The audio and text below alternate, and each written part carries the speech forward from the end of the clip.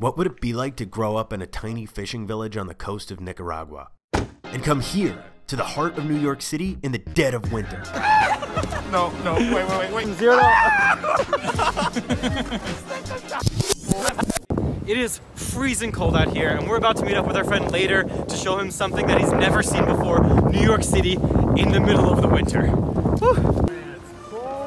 It's so cold. Welcome to New York, dude. Thank you. We met Leyder in a small village in Nicaragua where it is always hot. Here, the primary industry is fishing. Most people live below the poverty line, few people graduate past the sixth grade, and most people can't even write their own names. Boys grow up to be fishermen, and girls grow up to be mothers. But when we interviewed Leyder down there, we knew he was destined to change that.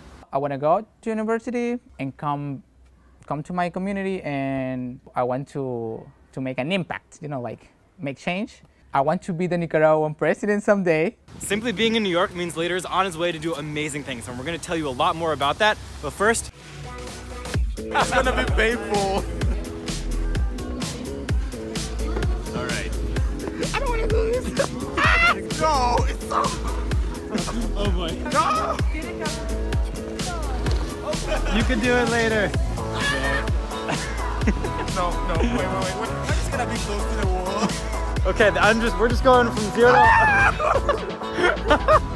This is fun. This is the coldest day of Leyder's life, and he's spending most of it on his ass. Oh!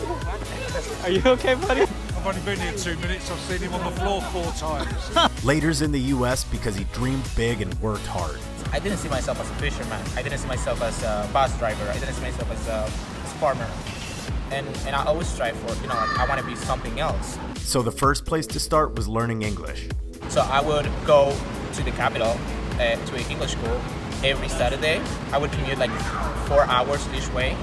And I would wake up at 5 a.m. in the morning, take the first bus, go to Managua. And guess what? He got a scholarship that brought him to study at John Brown University in Arkansas. I'm the first uh, first one from my town, from El Tránsito, to come to a American university. What are you, what are you feeling right now? Excited because I wanna do this. I'm getting it. You're getting it. You're getting yeah. it. I'm getting it. The optimism is infectious from this one. You're never gonna give up Leyder. I'm not gonna fall this time. It's all in the name of having an impact.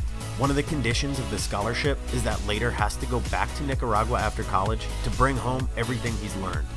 There is a group of 30 students in first grade. When they end elementary school, there are only 12. but they are in in the last year of high school, there are only like five. I bring all these new ideas and all these new things and tell them about, you know, like there's a whole new world outside. It's not just El Tránsito. It's not just fishing. Yeah, it's not just fishing. It's not, it's not just farmers. It's not just bus driver. It's a whole new world full of opportunities. nice job, Leyder. I did it. Damn, it's cold.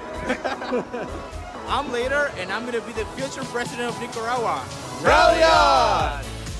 Yeah, nice.